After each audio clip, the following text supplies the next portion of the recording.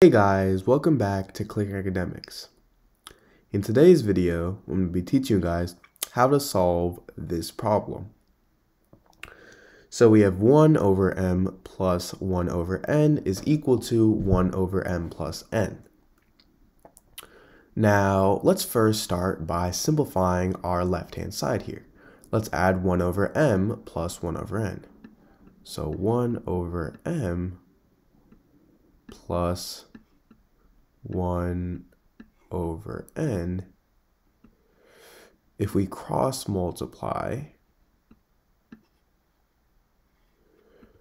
1 times n is n plus 1 times m is m. So n plus m would be our numerator.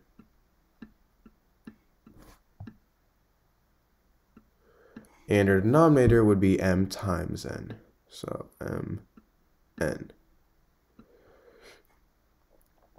So now we have n plus m over m times n is equal to 1 over m plus n.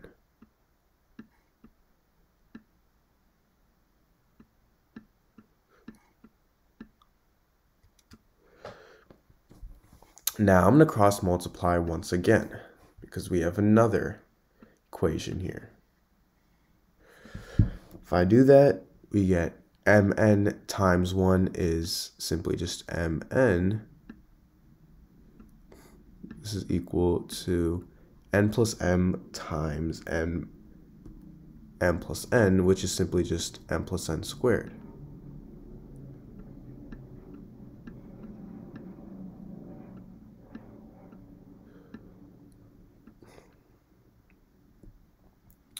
Now, if we expand this, we get m squared plus mn plus n squared. And this is equal to mn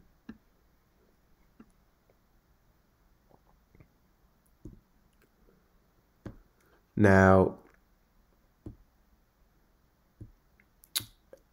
This is actually, sorry, this is actually 2mn. Now, if I subtract by mn on both sides,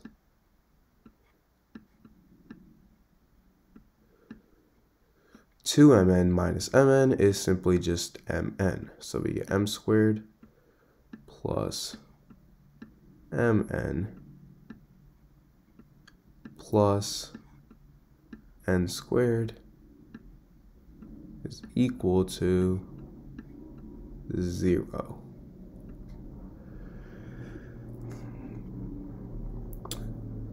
Now I'm actually going to multiply both sides by 2. So we have 2 times m squared plus mn plus n squared is equal to 0 times 2.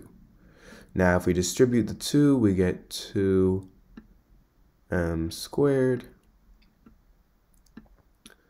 plus 2mn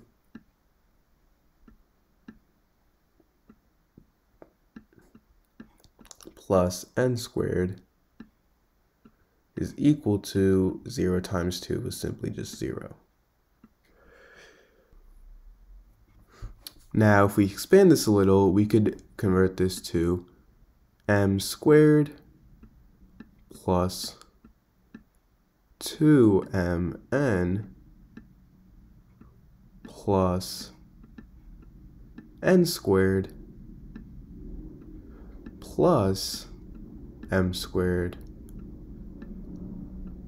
plus n squared. And now this is equal to 0.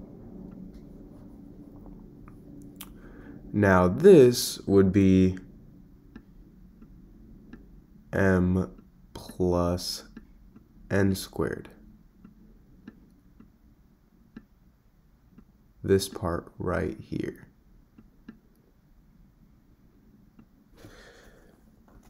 So now we have m plus n squared plus m squared plus n squared.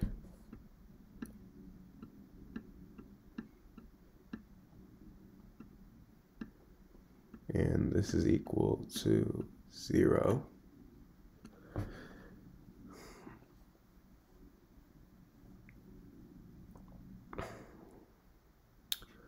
So now, if we set m equal to 0 and n equal to 0, then this also means that m plus n would be equal to 0, and that means that all of these combined would also equal 0.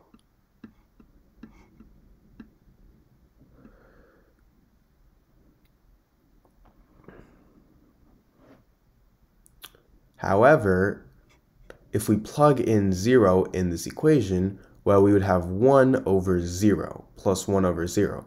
And you actually can't divide by 0 because you can see, if you try to divide by 0, you can't multiply anything with 0 to get 1. So this actually means that all of this is wrong and there is no solution.